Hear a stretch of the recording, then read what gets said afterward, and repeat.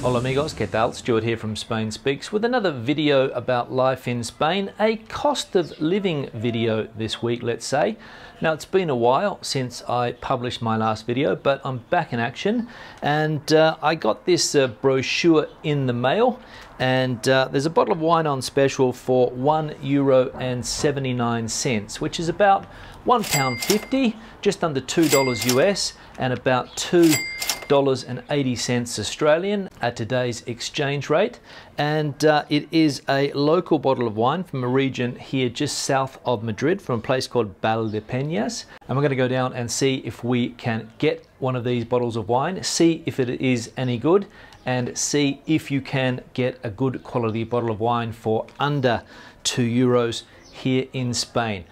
I don't know whether you can, but uh, we have some solutions if it isn't very good. So let's head off to the supermarket now and see if we can get a bottle of this cheap plonk. Let's go.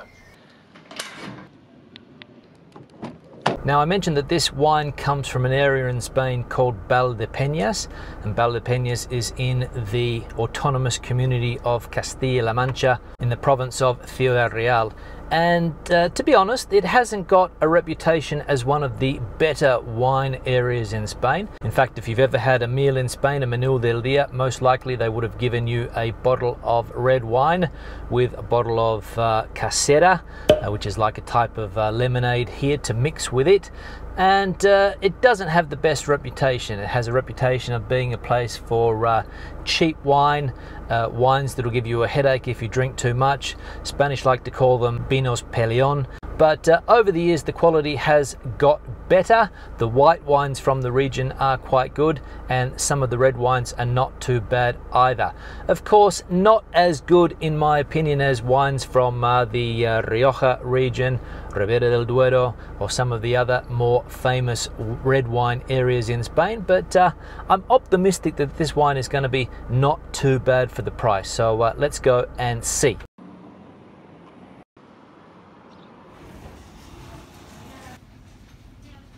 Okay, so I'm out of the supermarket now. Mission accomplished. Here is the wine. The uh, price was as listed, one euro and 79 cents. So all we have to do now is see if it is good value for money. In fact, for 179, I don't think you can really go wrong. Uh, obviously, it's not going to be the best wine in the world, but I don't think it's going to be too bad. Now, it's a Lidl special or Lidl, however you want to pronounce it. It's a Lidl special. Here in Spain, it is one of the uh, discount retailers and they have a broad selection of wines at relatively cheap prices compared to some of the other places. And in general, the quality is not too bad. So that's why I'm a little bit optimistic that this is going to be drinkable. And as I said, if not, we can always mix it with something to, uh, to uh, get value for buck. So uh, let's go and try. Okay, so we're back home now and it's time for the very important opening of the bottle. And we're gonna see if the wine is a good drop for one euro and 79 cents, which is what uh, I paid for it.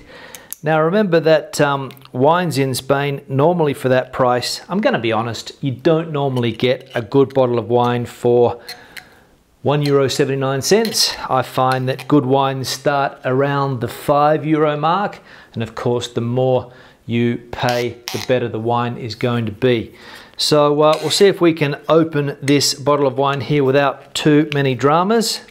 Let's see if the cork comes out well. It does, okay. The important test here is going to be the color and the aroma of the wine. Now, I'm not an expert, but uh, we'll check it out. So there we go. I'll let you decide for yourself uh, what you think of the color there, okay? In my opinion, it looks a little bit thin. Doesn't smell too bad, but of course, uh, as I said, I'm not an expert. Now remember that this is a 2012 Gran Reserva. You can probably see that there, 2012 Gran Reserva. And uh, normally here in Spain, you're gonna get different types of wine. You're gonna get your cosechas, you've got wines that are robles, you've got ones that are called crianzas, and you've got this one here, which is a Gran Reserva, Gran Reserve wine. Now that obviously has something to do with the time that it is uh, in the barrel. So I'm not sure of the stipulations regarding the, the time frames, but you've got the Crianza, the Reserva and the Grand Reserva. So this should be not too bad. And remember for the price we we can't really ask for too much.